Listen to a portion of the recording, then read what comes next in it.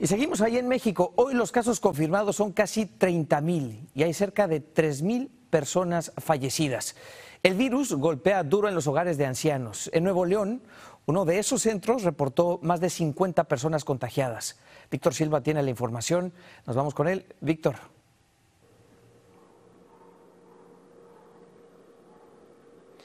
¿Qué tal, Julio? Muy buenas noches. De acuerdo con las autoridades sanitarias, las personas de la tercera edad podrían haberse contagiado debido a que una cocinera presentaba los síntomas y fue mal diagnosticada. La noticia se esparció como el virus. En la casa de retiro Luis Elizondo, las camillas y las ambulancias entraban y salían. Afuera, familiares querían saber algo sobre sus seres queridos. Elías recibió la noticia de que su padre de 80 años es positivo de COVID-19, pero está estable. Tenemos que esperar los 14 días a ver los síntomas de la tos, de la cabeza, de todo eso, a ver si, si no se pone grave.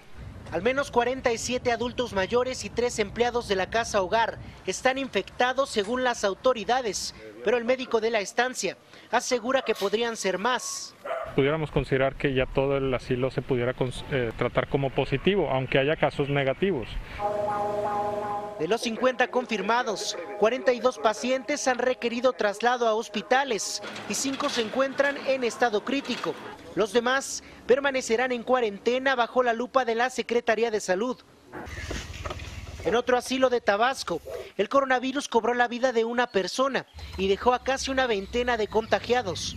Los dos brotes preocupan porque los adultos mayores son altamente vulnerables al virus. En México, Víctor Silva, Noticias Telemundo.